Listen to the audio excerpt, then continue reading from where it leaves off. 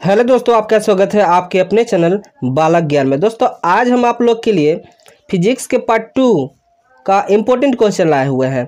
आपसे रिक्वेस्ट है कि वीडियो अंत तक देखिएगा और इस वीडियो को देखने के बाद आपको पता चल जाएगा कि हाँ ये क्वेश्चन बार बार पूछता है। तो चलिए शुरू करते हैं। पहला क्वेश्चन जो है किरचॉफ का प्रथम नियम। तो देखिए, इसका आंसर है, किसी बिंदु की ओर आने वाले धाराओं का योग, किसी बिंदु की ओर आने वाले धाराओं का योग, और उस बिंदु से दूर जाने वाले धाराओं का योग, ठीक है? बराबर होता है। उसको हम बोलते हैं किरचॉफ के प्रथम नियम, ठीक है? चलिए, अगला जो क्वेश्चन है, इसका पॉइंट देख लीजिएगा यहाँ पर। किरचॉफ के प्रथम नियम को आवेश के संरक्षण के नियम कहा जाता है, ठीक है ना? आवेश का संरक्षण कहा जाता है, ठीक है? चलिए, अगला जो क्वेश्चन है किरचॉफ के दूसरा नियम। तो देखिए, किसी बंद विद्युत परिपथ के प्रत्येक भाग में प्रवाहित होने वाले विद्युत धारा तथा उसके परिपथ के गुणनफल का बीजीय योग परिपथ पर लगे कुल विद्युतवाहक बल के बराबर होता है। देखिए, समझिएगा फिर से। किरचॉफ का दूसरा नियम जो होता है, किसी बंद विद्युत परिपथ के प्रत्येक भाग में प्रवाहित होने वाले विद्युत धारा तथा उसके प्रतिरोध के गुणनफल का बीजीय योग परिपथ में लगे कुल विद्युत वाहक बल के बराबर होता है। ठीक है? और इसको दोस्तों क्या कहा जाता है? किरचॉफ का दूसरा नियम को ऊर्जा संरक्षण का नियम पालन करता है, इसलिए इसको ऊर्जा संरक्षण के नियम भी कहा जाता है, ठीक है? चलिए, अगला जो क्वेश्चन है, अगला क्वेश्चन जो है, विद्युत जो है ना, विभव मापी, जो विद्युत धारा का विभव मापने वाला है, विभव मापी किसको बोलते हैं? तो इसका आंसर है, यह एक ऐसा यंत्र है जिसके द्वारा किसी विद्युत परिपथ के दो बिंदुओं के बीच के विभवांतर को मापता है। मतलब ये यंत्र है, ठीक है?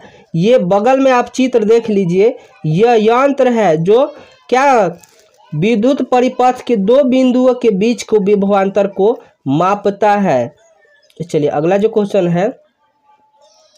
दोस्तों, देखिए हीट स्टोन ब्रिज क्या होता है? तो देखिए हीट स्टोन ब्रिज में चार गो है। यदि हम चार प्रतिरोध को लेकर आ एक चतुर्भुज बनाए। ठीक है ना?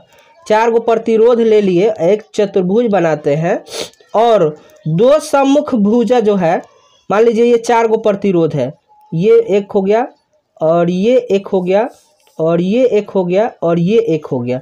तो इसकी सम्मुख भुजाएँ जो है, ये बीच में, और इसके बीच में, सम्मुख भुजाएँ के बीच में गैलोनोमीटर जोड़ दिया जाता है, तथा दो सम्मुख भुजाओं के बीच सेल जोड़ दिया जाता है। अब दो गो जो है, ये बच गया है और ये बच गया है, इसके बीच में हम सेल जोड़ देते हैं। ठीक है ना? बैटरी जोड़ देते हैं। तो हम इस व्यवस्था को क्या? हीट स्टोन ब्रिज बोलेंगे। ठीक? ठीक है। अगला क्वेश्चन जो है, दोस्तों देखिए, विद्युत धारा का उष्मीय प्रभाव। ठीक है? समझिएगा, जब किसी चालक में विद्युत धारा प्रवाहित किया जाता है, तब वह गर्म होने लगता है, अर्थात विद्युत उष्मा में रूपांतरित होने लगता है। इसी को विद्युत धारा का उष्मीय प्रभाव कहते हैं। दोस्तों, एक उदाहरण समझिएगा। मान लीजिए एक बल्ब है तो इसमें विद्युत धारा दे रहे हैं ना? तो विद्युत धारा दीजिएगा तो ये गर्म होकर इसमें से उष्मा उत्पन्न होगा। तो इसको बोलेंगे विद्युत धारा का उष्मीय का प्रभाव, ठीक है? चलिए, अगला जो क्वेश्चन है, विद्युत शक्ति। विद्युत शक्ति क्या होता है? तो किसी विद्युत परिपथ में वैद्युत ऊर्जा के खर्च की दर को विद्युत शक्ति कहते हैं।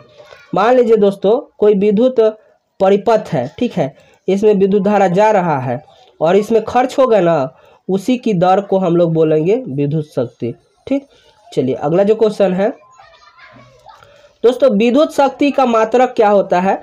तो विद्युत शक्ति का ऐसा ही मात्रक जो होता है, वाट होता है, जिसको जूल प्रति सेकेंड भी कहा जाता है, ठीक है ना? चलिए, अगला जो क्वेश्चन है।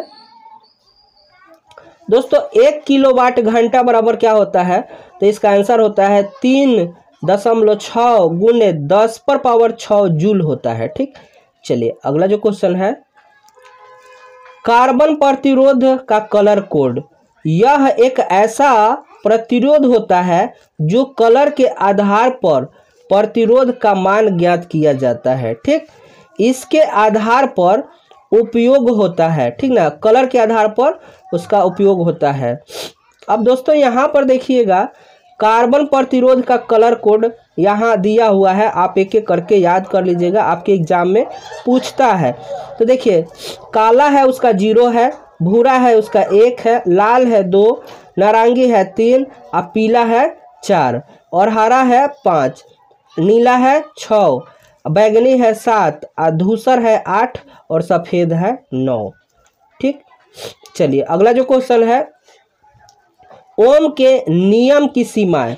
तो देखिए दोस्तों उन पदार्थ में मतलब उन पदार्थ में ओम का नियम नहीं लगता है, नहीं लगता है, जिनमें प्रतिरोधक धारा या विभवांतर पर निर्भर करता है।